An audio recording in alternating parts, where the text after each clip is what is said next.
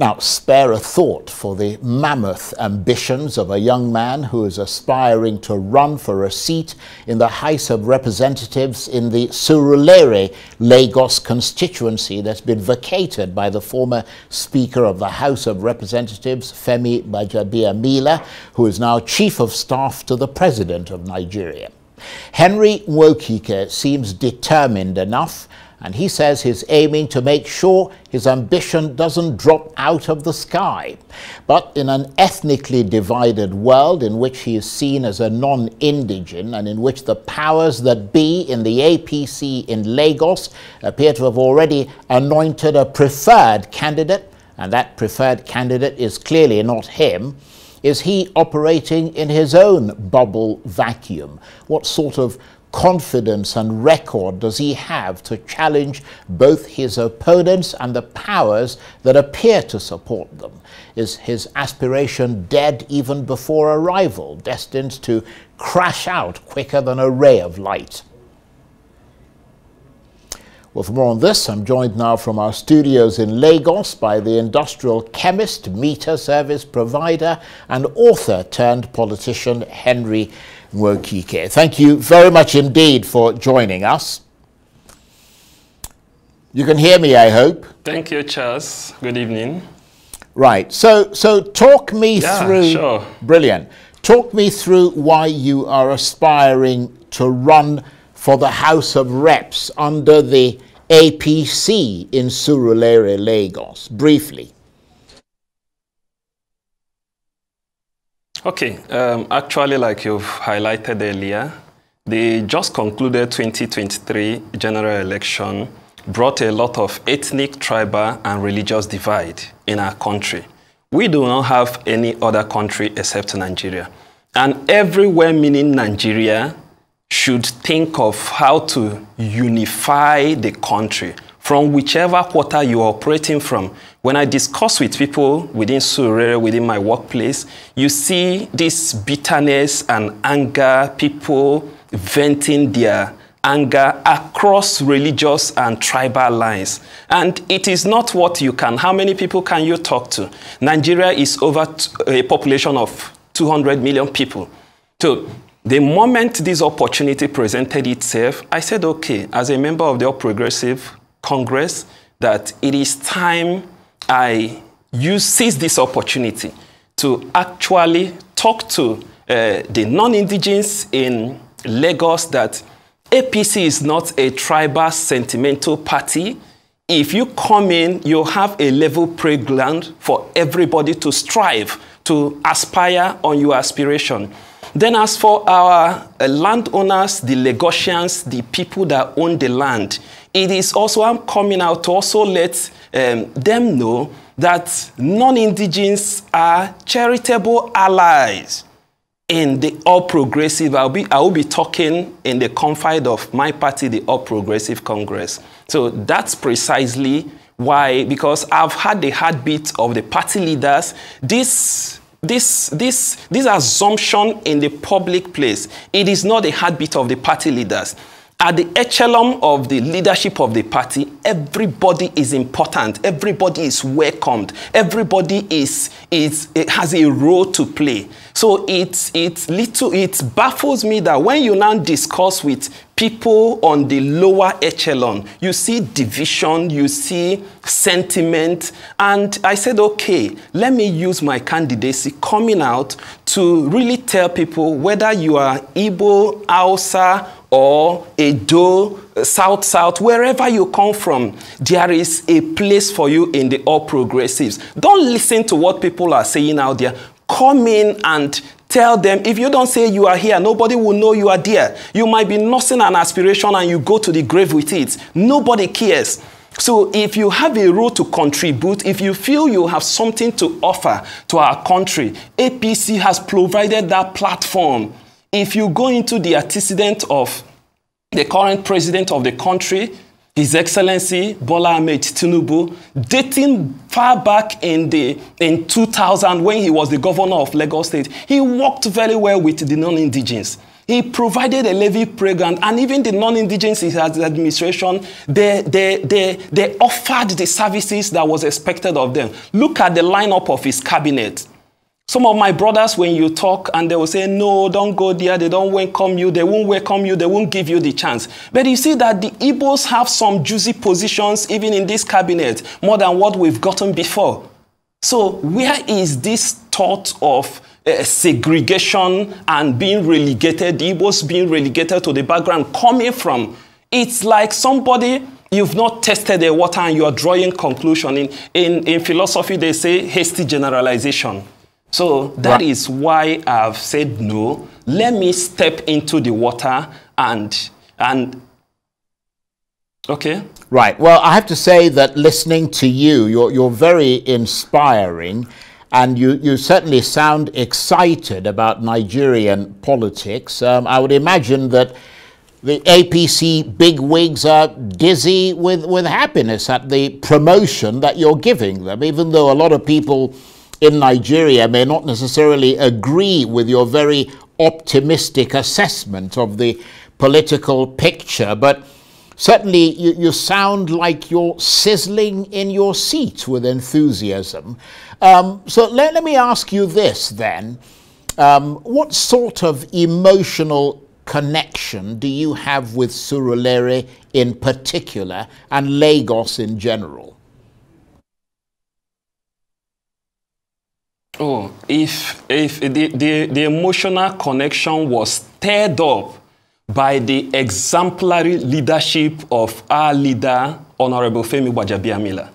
This is somebody across party divides. If you come to Surulere, whether you are in the Labour Party, the PDP, the testimony has been the same if leadership is what Honorable Femi Gbajabiamila has, has done, if, if Nigeria leaders, sorry, let me rephrase, if Nigeria leaders can emulate the, I call it, I will borrow from, the, from His Excellency, the, the President of Nigerian Senate, um, Honor, uh, uh Senator Godswill Akpabio.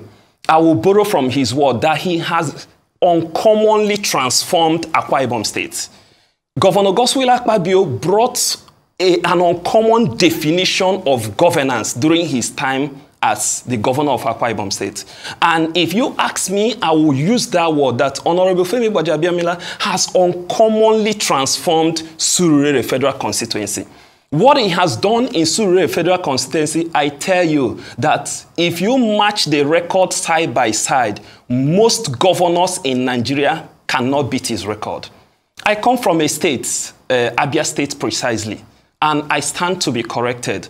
I have had governors in the last 16 years put together whatever they've done in Abia State. It is not 5% of what Honorable Femi Gbajabiamila did in just Surulere federal constituency. When you live in Surulere, see the roads, the quality of the road, the quality of roads he brought, in Surulere, we can sleep with our eyes closed. There is nothing like uh, phone snatching. Uh, it's so serene. The environment is so serene. And it didn't fall from air. He, he, he so much redefined security approach. In the midnight, if you wake up in your house in Surulere, 2 a.m., 3 a.m., you see police patrolling with vehicles and security gadgets provided, facilitated by Honorable Femi Gbajabiamila. Surulere is so littered up that it, it, it doesn't welcome crime, crime committing at night. If you come to the area of hospital, hospitals within Surulere can compete with teaching hospitals across Nigeria.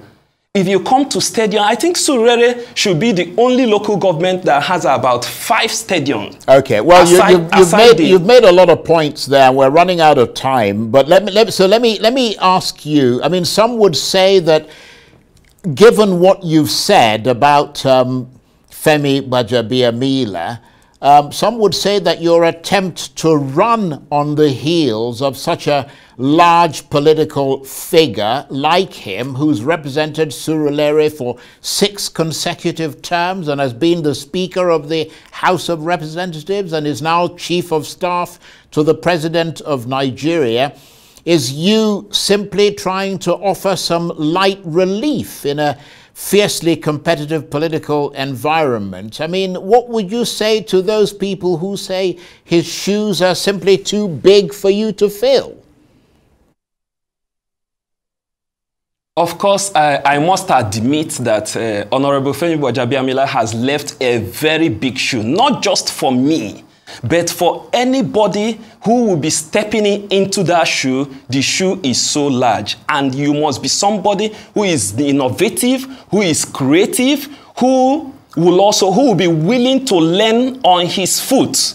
Because it takes a man who knows the road to lead you on the path to step into that shoe. And I tell you what, I have quickly determined uh, four cardinal points where I was. So governance is a continuous pro pro process. I'm not going to do everything within the space if, if given the chance to step into his shoe. One, uh, uh, uh he has really laid the foundation for anybody to co come in to build on it. The roads are there, the infrastructures are there. The areas I'm now looking at, the population of Surulere is is, is about a million plus. 2006 census put it at about 503,000 persons, but now I know it's about a million plus. Therefore, there is housing deficit within Surrey. So within, if I'm given the opportunity, I will, I will leverage on the, the, the, the legacies of Femi Gbajabiamila to woo investors who will come and put up high-rising towers.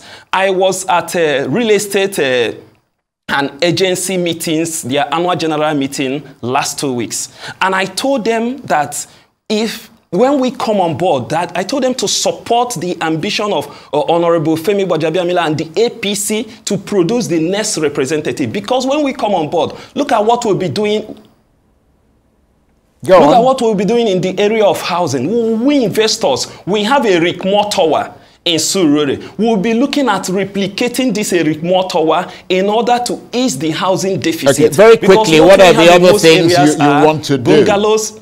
What are the other things you so want to do very quickly? Because we've only got about a minute or so. In the area, we want, I'll be looking at wooing investors who will come and industrialize Surrey. And the first, before we do that, I'm a player in the power sector.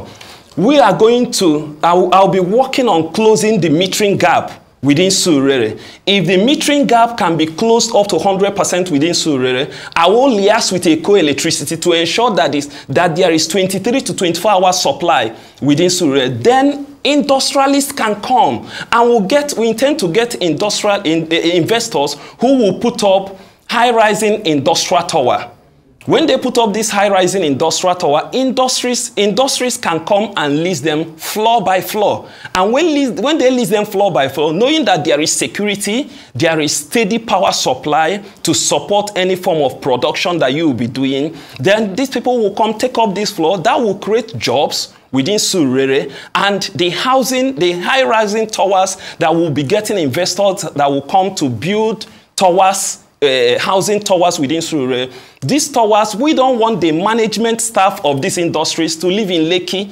Ikoyi, and the rest of it. We are, we are providing this, this high-rising uh, housing towers will provide a befitting housing, a befitting housing scheme for them. So that also goes a long way to improve on the revenue of Surulere local government and Lagos State in general. Okay, well, you've made some, some interesting points there. Obviously, you have to win the primary and then win the seat in competition with of other course. parties. Uh, when, is, yeah. when are you expecting the primary to take place? Actually, our great party has not fixed time for the primary, but we are preparing. Everybody is preparation in, is on top gear. There are candidates uh, where there are other candidates who are also juggling, trying to woo support, trying to tell people, marketing themselves. Uh, I, am sorry to interrupt you, Henry, but in the party primary. Right. Okay. Well, we wish you all the very best. Unfortunately, we're out of time, but um, we wish you all the best and come back and talk to us. And he is the industrial chemist, meter service provider, and author turned politician, Henry Nwokike, talking to me there from our studios in Lagos. That's it for this edition of Arise Prime Time. Join us again tomorrow from me and the entire team here in Abuja and Lagos. Bye bye and thank you for watching.